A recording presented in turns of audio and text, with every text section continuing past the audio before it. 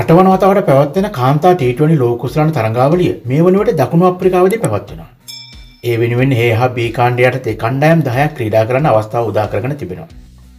ශ්‍රී ලංකා කණ්ඩායම අත්වන්නේ ඒ කාණ්ඩි අටත ඒ කාණ්ඩි යටතේ ක්‍රීඩා කරන කණ්ඩායම් වන්නේ ශ්‍රී ලංකාව ඔස්ට්‍රේලියාව දකුණු අප්‍රිකාව නවසිලන්තය හා බංගලාදේශ කාන්තා කණ්ඩායම කාන්තා ටීටවනි ලෝකුසලන ඉතිහාසය තුළදී ශ්‍රී ලංකා කණ්ඩායමක් පිටපිට තරඟ දෙකක් ජයගත් පළමු අවස්ථාව මේ බවට පත් වුණා ඒ දකුණු අප්‍රිකාව බංගලදේශ කාන්තා කණ්ඩායම් පරාජයට පත් කරින් ලැබූ ජයග්‍රහණය සමගන.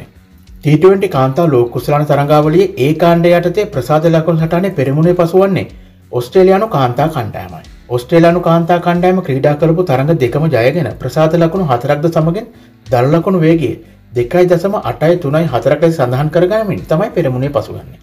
ශ්‍රී ලංකා කාන්තා කණ්ඩායමත් ක්‍රීඩා කළ තරඟ දෙකම ජයගෙන ප්‍රසාද ලකුණු හතරක් සමගෙන් දල්ලකුණු වේගේ බින්දුව දසම හතරයි තුනයි බින්දුවක් ලෙස සඳහන් කරගනිමින් තමයි දෙවන තැන පසුවන්නේ. මෙවර ශ්‍රී ලංකා කාන්තා කණ්ඩායමට ඉතිහාසයේ පළමු වතාවට සෙමිෆයිනල් තරගයට පිවිසෙන්න හොඳ අවස්ථාවක් ලැබිලා තිබෙනවා. සෙමිෆයිනල් යන්න අවස්ථාව උදා කර ගැනීමට අපේ කාන්තා කණ්ඩායමට නවසීලන්තය හා ඔස්ට්‍රේලියාව සමගින් තිබෙන තරඟ දෙකෙන් එකක් අවම වශයෙන් හෝ හොඳ දල් ලකුණු වේගයකින් ජයගත යුතු වෙනවා.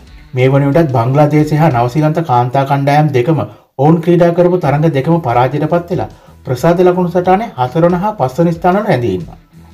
නමුත් ශ්‍රී ලංකා කාන්තා කණ්ඩායමට ලොකු අභියෝගයක් එල්ල කරමින් දකුණු අප්‍රිකානු කාන්තා කණ්ඩායම ඔවුන් ක්‍රීඩා කරපු තරඟ දෙකින් එකක් පරාජයට පත් වෙලා එක් තරඟයක් ජයග්‍රහණය කරලා ප්‍රසාද ලකුණු සටහනේ තුන්වන තැන පසුවන්නේ හොඳ දර ලකුණු වේගයක් සමගින්. ඉතින් අපේ කාන්තා කණ්ඩායම නවසීලන්තය ඔස්ට්‍රේලියාව අතර තිබෙන තරඟ දෙකෙන් එක් තරඟයක් ජය ගන්නවා නම් හොඳ දර ලකුණු වේගයකොත් රඳවා ගන්නට අවශ්‍ය වෙනවා.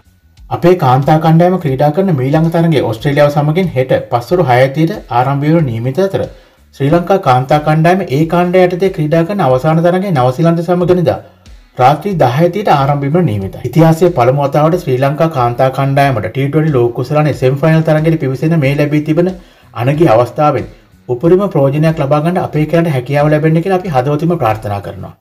නවතම ක්‍රිකට් තොරතුරු දැනගන්න එස්සල් ක්‍රිකට් පෑන්ස් අපිව සබස්ක්‍රයිබ් කරලා බෙල්ලයිකන්න කලික් කරලා එකතු වෙන්ඩ. එහෙනම් සියලුම දෙනාට ක්‍රීඩාශීලී ජයග්‍රාහි උද්‍යෝගමත් දවසක්.